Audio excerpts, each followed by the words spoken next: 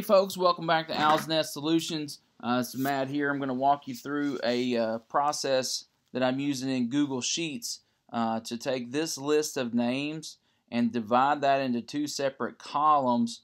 Uh, and then I'll go from there uh, because I want to compile email addresses. And so for uh, in my district, all of our email addresses match the same pattern. And so, but I didn't have those listed. I didn't want to spend time typing it out.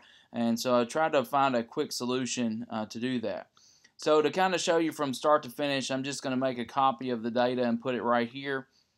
In order to split this out, I'm going to highlight the data.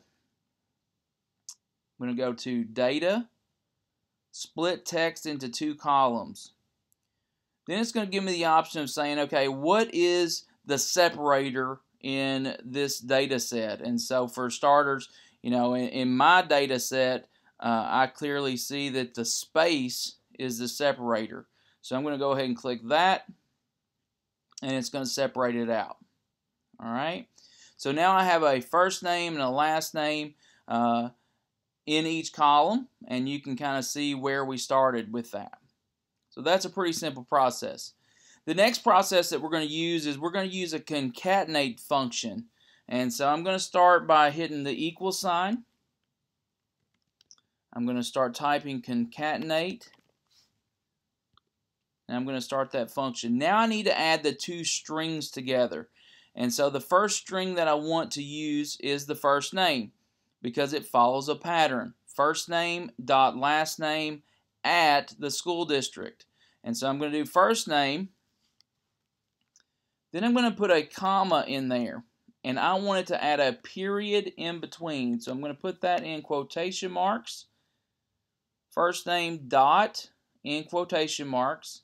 Then I'm going to add another comma. And I'm going to put James, so C3 there in that next function. Then I want to add the rest of the tagline. And so for us, it's uh, it's at the county name and the, the, the school district. So I'm going to just use another comma. I'm going to use another quotation mark. And I'm going to say at your school dot dot your state dot us close quotation marks close parentheses and you're going to see that it even gives us that autofill function so now we have a list of email addresses that come from the same pattern, first name dot last name at yourschool.yourstate.us and that can fill all the way through if you have this list of names already typed out, which that was the situation I was in. Uh, I had a list of over 100 names uh, that was typed in this particular manner. And so I wanted to, to get that into a functional uh, space so that I could add their address. And uh, so this is the process that I use to do that.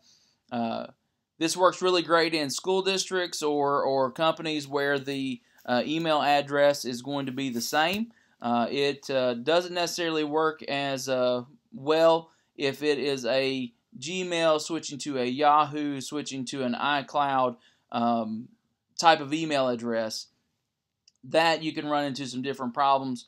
But you could solve that by adding another column and uh, uh, maybe filling in whatever it is uh, on that uh, side.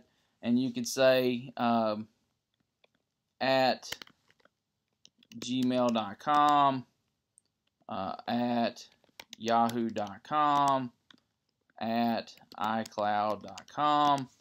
Uh, and it would just give you another opportunity uh, to concatenate those functions uh, into a, another category.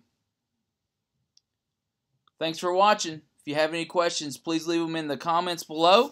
Also, click that like and subscribe button. Hope you have a great day.